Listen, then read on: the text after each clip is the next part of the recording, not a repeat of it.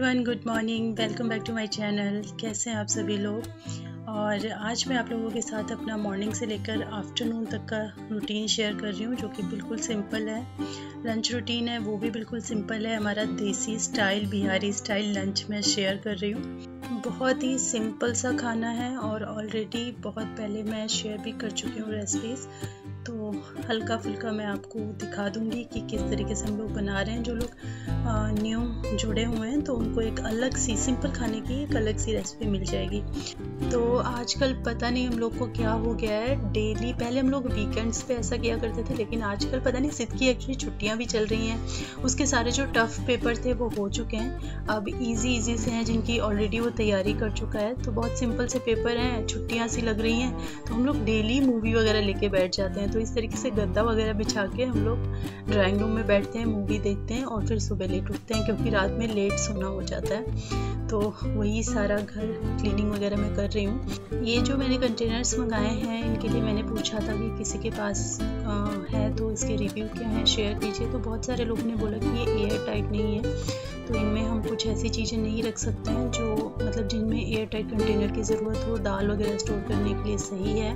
और ये कमेंट मैंने अमेज़ोन का जो रिव्यू सेक्शन होता है उसमें भी मैंने सेम कमेंट्स पढ़े थे। आ, इनका जो बॉटल के नीचे एक रैंकिंग टाइप की होती है जिससे ग्लास के कितना अच्छा क्वालिटी है उसका पता चलता है। तो I think four five six quality के बहुत अच्छे होते हैं पर इन सारे ग्लासेस पे किसी पे वन मोस्टली पे वन लिखा हुआ है और एक शायद कंटेनर पे थ्री लिखा हुआ है तो उसका एग्जैक्टली exactly मतलब क्या होता है? अगर किसी को पता हो तो बताना। मेरे हिसाब से मैंने जो समझा है कि जितना ज़्यादा नंबर ऊपर होता है लाइक फोर फाइव सिक्स होता है तो उतनी ज़्यादा ग्लास की क्वालिटी या प्लास्टिक कंटेनर तो उसकी क्वालिटी अच्छी होती है, और अगर वन और टू है तो वो अच्छा नहीं होता है। बाकी अगर कोई और ज़्यादा एक्सप्लेन कर सकता है इस चीज़ को तो मुझे बताइएगा। ये मोस्टली कंटेनर वन नंबर के हैं। तो वो मुझे थोड़ा सा बॉदर किया। जब मैंने धो धा के इनको चेक किया तो ये चीज़ मैंने देखी।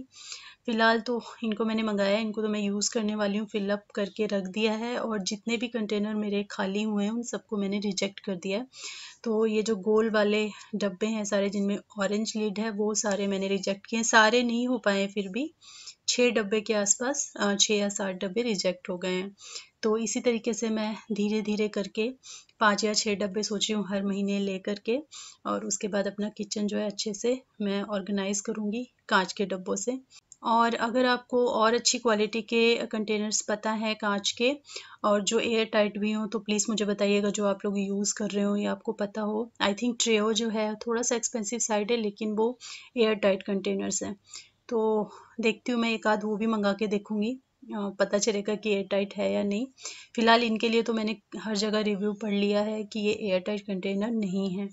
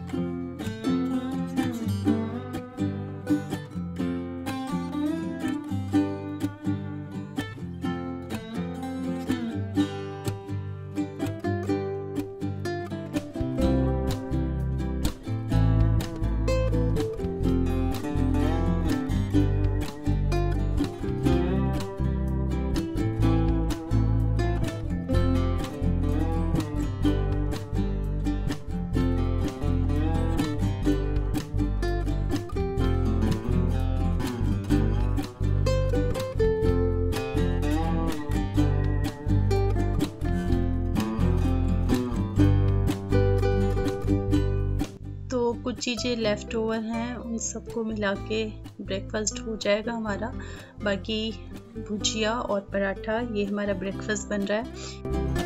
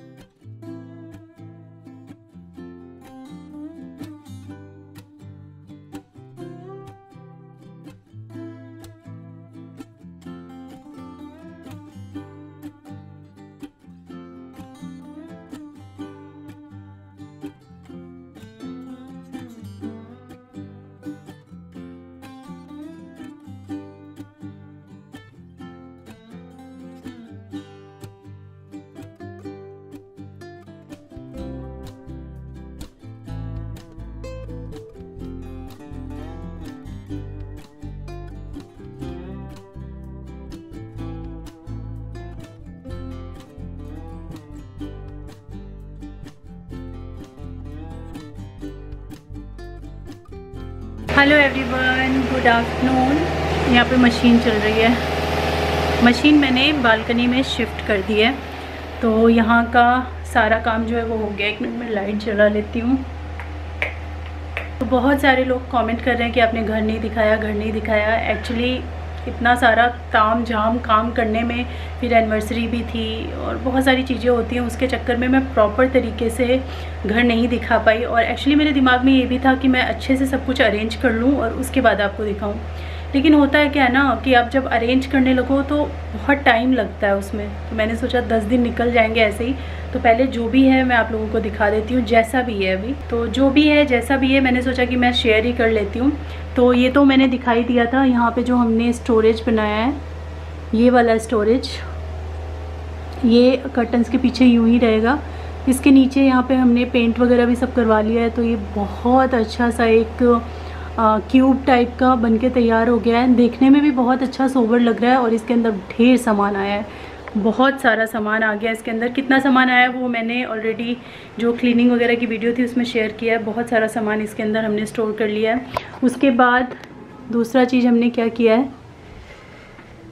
ये दया ना देखो, ऐसे पन्नियाँ लगा के चली जाती है हैंडल में। किचन मेरा साफ़ सुथरा है काम हो गया है, बस जो बर्तन वगैरह माँज के गई है दया ना, वो सब मुझे अरेंज करने बाकी सब मॉर्निंग का काम हो रखा है। तो ये हमारे कैबिनेट थे और इसके ऊपर हमने ये एक्सटेंड करवाए हैं तीन और।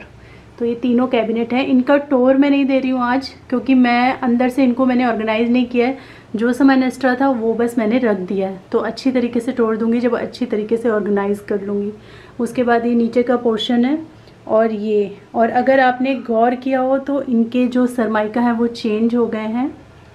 एक्चुअली जो पहले सरमाइका था, मैं यहाँ पे एक छोटा सा पिक इंक्लूड कर लूँ, कर दूँगी कि कैसा था पहले, क्योंकि ऑलमोस्ट सिमिलर कलर है।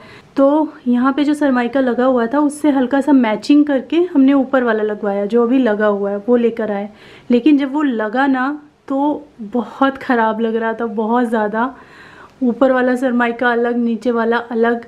तो फिर बहुत ज़्यादा दिमाग लगाने के बाद हमने वो सोचा कि चलो हम पूरा ही चेंज करवा देते हैं। तो इस सरमाइका को चेंज करवाने के पीछे ना कहानी हो गई एकदम।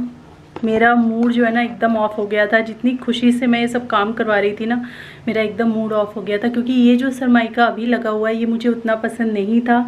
क्योंकि किचन में क्या होता है ना, हल्दी के हाथ होते हैं, कई बार चिकनाई के हाथ होते हैं, खाना बनाओ तो छींटे भी चिकनाई के उठते हैं। और ये ऑलमोस्ट क्रीम कलर की सरमाइका है।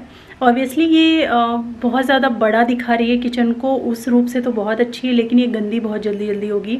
तो अगर मेरे दिमाग में कहीं भी पहले ज़रा सा ये होता कि मुझे पूरी सरमाइका चेंज करवानी है तो मैं अपनी पसंद से अपना लाइट कलर ही लेती, लेकिन अपनी पसंद से बढ़िया सा कुछ पैटर्न्स होते हैं ना जिनके ऊपर सेल्फ डिज़ाइन होते हैं जिनके ऊपर उस टाइप का कुछ अच्छा सा सेलेक्ट करके लाती। पर पर हमारे दिमाग में था कि सिर्फ़ हम ऊपर लगवाएँगे सरमाइका ये नीचे वाली हम नहीं छेड़ने वाले थे। और इसी वजह से हम जो पुरानी सरमाइका थी, उससे मैचिंग करने के लिए ये कलर लेके आए और उसके बाद जब ये लग गया तो इससे मैचिंग करने के लिए सारा हमको उसी कलर का करना पड़ा। मेरा इतना मूड ख़राब हुआ था, इतना मूड ख़राब हुआ था ना, मैं बता नहीं सकती। मेरा एकदम मन बिल्कुल ख़राब हो गया था कि अगर मुझे पहले पता होता कि सरमाइका पूरा चेंज होना है तो मैं अच्छे से सेलेक्ट करके लाती। तो फ़िलहाल वैसे मुझे किचन बहुत अच्छा लग रहा है। आप देखिए, मैं दूर से दिखाती हूँ। ये एक्चुअली वाइट टाइप का कलर है तो थोड़ा सा कैमरे में ना वो करेगा ब्लर टाइप का करेगा, चमक शाइन ज़्यादा देगा। तो वैसे किचन मुझे काफ़ी अच्छा लग रहा है। जब पूरा लग गया तो फिर मेरा मूड थोड़ा ठीक हुआ। बट ये है कि गंदा बहुत जल्दी जल्दी होगा। क्लीनिंग जो है मेरी क्लीनिंग का जो काम है ना, वो बढ़ गया। तो बस यही करवाया है। और, बाकी मैंने बालकनी में भी करवाया है कुछ, क्योंकि जो वॉशिंग मशीन थी ना, वो मैंने बालकनी में शिफ्ट कर दी है। तो उसका भी मैंने करवाया है कुछ बालकनी में भी, वो बाद में दिखाऊँगी, क्योंकि आपने देखा ना, अभी मैंने मशीन इधर करके लगाई हुई है। बहुत सारे कपड़े पड़े हुए हैं, बहुत सारी चीज़ें अभी बाहर तो उसको थोड़ा ठीक ठाक कर लूँ, फिर मैं किसी और दिन दिखाऊँगी। और यहाँ पर देखिए क्या चेंजेस हो गए हैं। वो भी गौर कर लीजिए। तो वहाँ पे मेरे शू रैक था ना जहाँ पे ये आ, शेल्फ रखा हुआ है यहाँ पे शू रैक था। तो शू रैक मैंने मशीन की जगह पे शिफ्ट कर दिया है वहाँ पे। और जहाँ पे शू रैक था उस साइड कोने में मैंने ये शेल्फ़ कर दिया है उसके बगल में। में ये हमारा सिद्धार्थ का कीबोर्ड और बाकी का ये सारा स्पेस तो इस तरीके से ड्राइंग रूम में थोड़ी ज़्यादा जगह दिखने लगी है। बालकनी मेरी एकदम कहते हैं ना लग रहा है कि बड़ी सी हो गई है बिल्कुल। तो बालकनी में से अलमीरा चली गई तो वो काफ़ी बड़ी सी, काफ़ी अच्छी सी दिख रही है। बालकनी में काफ़ी चेंजेस हुए हैं, दिखाऊँगी मैं बाद में, थोड़ा ठीक कर लूँ अभी बहुत गंदी पड़ी हुई है। हस्बैंड आ जाएँ क्लास गए हुए हैं सिद्ध को लेके तो वो आ जाएँ, उसके बाद हमको बालकनी में बोर्ड लगवाना है स्विच बोर्ड जैसा कि आपने देखा कि मैं मशीन इधर लेके आई हूँ, उसके बाद मैंने पाइप से पानी लगाया हुआ है, और बाहर कोई ना बोर्ड नहीं है स्विच बोर्ड नहीं है, जिसमें हम अटैच कर सकें मशीन को। तो उसके लिए हमें एक न्यू स्विच बोर्ड वो बाहर लगवाना है।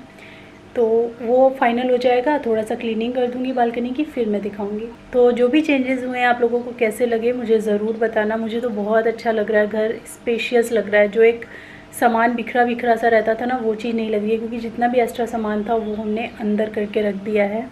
और बस, इस छोटे से स्पेस को हम ना बेस्ट यूटिलाइज़ करने की कोशिश कर रहे हैं कि कन्वीनियंस भी हो, रहने में कोई दिक्कत ना हो। और सारा सामान भी हमारा एडजस्ट हो जाए। तो अभी बज गया पौने एक और खाना बनाना है मुझे। मॉर्निंग में मैंने लेफ़्ट ओवर से ही हमने सब बना बना लिया था। तो वो हो गया, जो सुबह मैंने केले की सब्ज़ी बनाई, वो रखी हुई है। और अभी मैंने जिमीकंद काटा है तो जिमीकंद बनेगा राइस ज़रूर बनाऊँगी। राइस खाने का बहुत मन कर रहा है तो दाल राइस बनेगा जिमी कंद का भरता। जिमी कंद के भरते की रेसिपी ऑलरेडी मैं शेयर कर चुकी हूँ बट दिखा दूँगी, उसमें ज़्यादा कुछ नहीं है, एक मिनट में पूरा भरता आपको पता चल जाएगा तो दिखा दूँगी। तो चलिए, पहले मैं थोड़ा सा बाल बाल सुखा लूँ, उसके बाद खाना बनाऊँगी, फिर मिलती हूँ आपसे।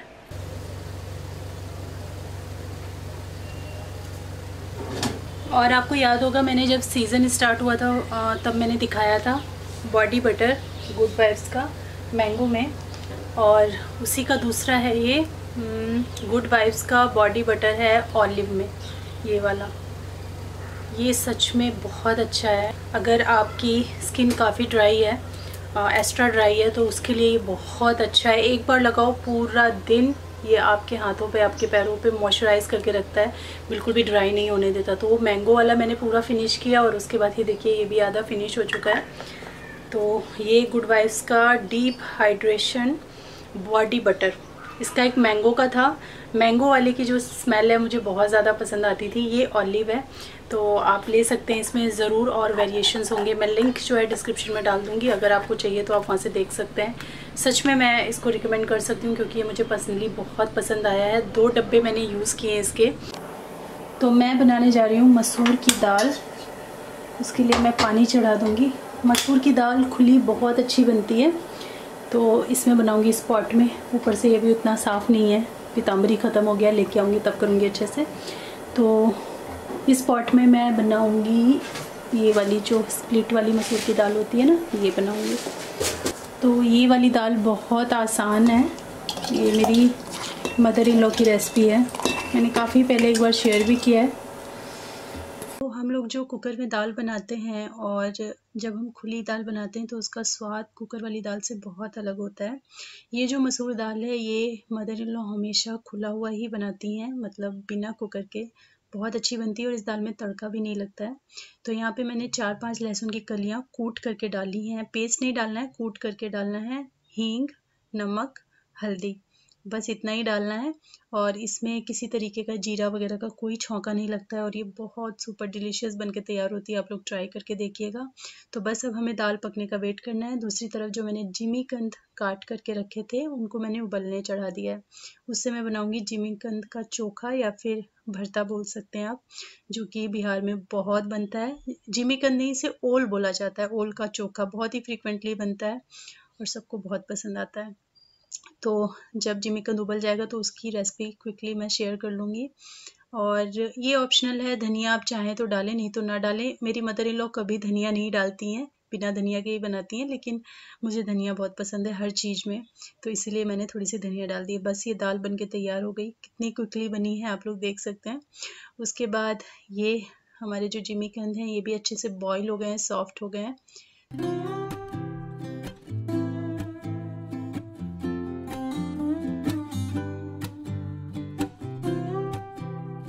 तो चलिए यहाँ पे चोखा बनाना स्टार्ट करते हैं। तो इसके लिए मैंने छः सात लहसुन की कलियाँ ली हैं। इसमें लहसुन ज़रूर पड़ता है, कच्चा ही पड़ता है। तो इसको हम एकदम महीन महीन, जितना महीन हो सकता है, उतना हम इसको कट कर लेंगे। इसको कट ही करना है चॉप करना है, पीस के या फिर कूट के नहीं डालना है। तो महीन महीन जितना हो सकता है, उतना चॉप कर लीजिए। हरी मिर्ची जाएँगी एकदम महीन महीन।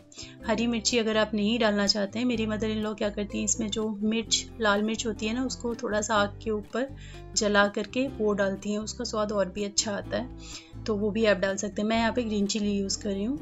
साथ ही में धनिया जैसा कि मैंने बताया, मेरी मदर इन लॉ धनिया बहुत कम यूज़ करती हैं। चटनी वगैरह के लिए वो लोग खाने में उतना यूज़ नहीं करते हैं तो वो धनिया नहीं डालती हैं।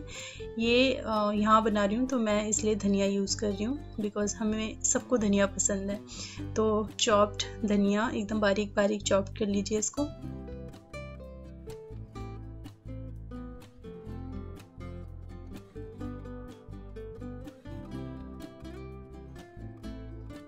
उसके बाद यहाँ पे स्वाद के अनुसार आप ऐड कर दीजिए नमक।